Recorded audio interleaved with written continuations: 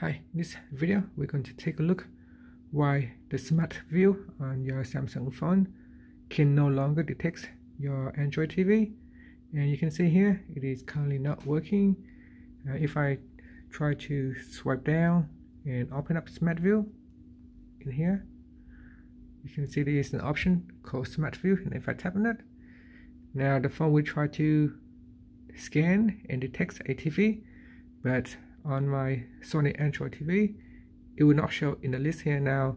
According to the Samsung uh, comment, that once you have updated your Samsung phone to Android 11, then Smart View can no longer work with your Android TV. So uh, due to a security update with Android 11, and that will make Smart View no longer works.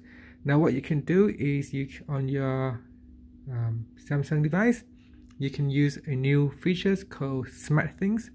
So if you go into the apps in here, so if I swipe up to go into app screen, and if I tap on Smart Things, so you can see there is an app called Smart Things, and in here you can uh, use your device to uh, add in a, um, a, an Android TV. So here I've got the Sony Android TV. You know, if I tap on that, I can cast the content on my device to the TV so let's say if I want to play this video and if I tap on that I can then play the video onto the TV right here and is playing directly from my phone.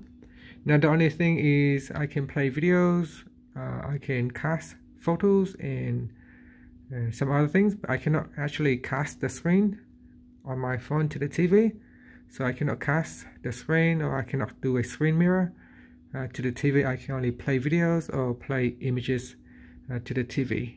So I can play these uh, pictures on the TV.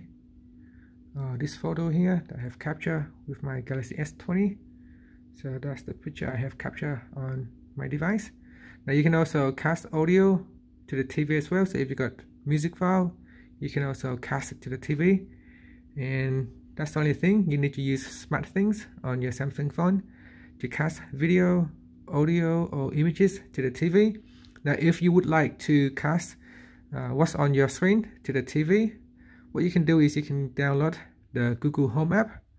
And with Google Home, let me just open it up so I can show it to you. So we can op open up Google Home.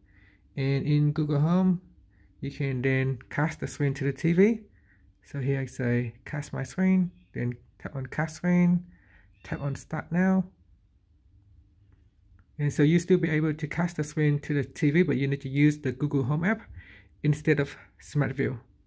And that's it. So if you're trying to get your device to cast the screen to the TV with Smart View, then and if it's not working, then this is the alternative. And that's it. Thank you for watching this video. Please subscribe to my channel for more videos.